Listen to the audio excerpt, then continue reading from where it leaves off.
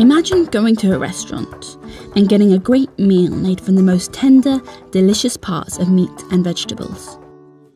Have you ever wondered what happens to the parts that weren't used? Cut offs, scraps, and ugly food aren't always something we're eager to consume, yet much of the time they are perfectly good. Can we make this food a little bit more fun and appealing while we reduce food waste at the same time?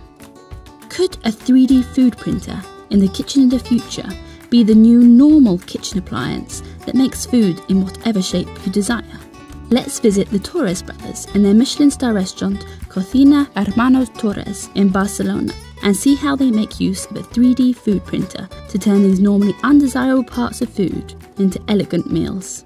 En Cocina Hermanos Torres el, el, aprovechamiento, la cocina de aprovechamiento es fundamental, pero ya porque viene culturalmente por nuestra abuela Catalina, que nos criamos con, con ella. Ella vivió la posguerra en, en, en, Andalucía, en Jaén, en Linares, vino a Barcelona y cocinó para la burguesía catalana. En casa siempre hemos comido con muy poco, ¿no? Y ella nos ha enseñado mucho a reutilizar, a reaprovechar los alimentos que normalmente se tiran. Aprovechamos eh, absolutamente todo. Desde un pescado utilizamos hasta la piel, las espinas, eh, evidentemente la carne, todo el conjunto lo utilizamos. De las verduras igualmente, utilizamos todo, hasta la piel, la piel, la parte verde y de la carne exactamente igual.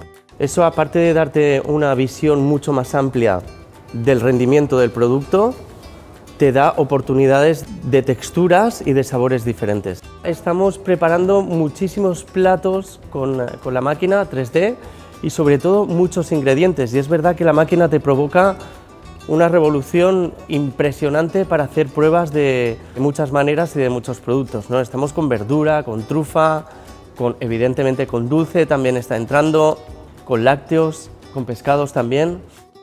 Te permite hacer dibujos y formas que con la mano sería imposible, no lo podrías hacer.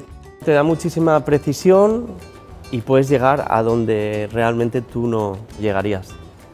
Vamos a hacer un plato de aprovechamiento con la máquina y lleva las carrilleras, unas carrilleras eh, guisadas con eh, los restos de zanahoria o con zanahoria que se estaba quedando vieja en la nevera. Hacemos una crema y el resultado es el que, el que veréis.